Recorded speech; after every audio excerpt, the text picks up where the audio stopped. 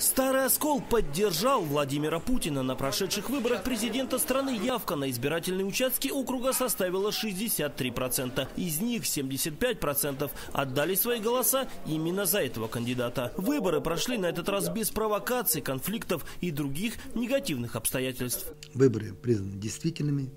Нарушений законодательства, избирать законодательства в ходе избирательной кампании не было.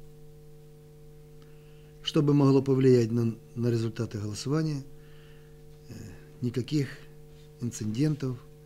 И так как мы переживали, что будут наблюдатели со стороны других кандидатов, что-то произойдет – не было. Что касается других кандидатов, то только Павел Грудинин смог перешагнуть отметку в 10%. А если точнее, то он набрал 13%. Старый Оскол уже традиционно оказался последним по явке в области, хотя на выборах президента оскольчане всегда активнее, чем на каких-либо других. 63%.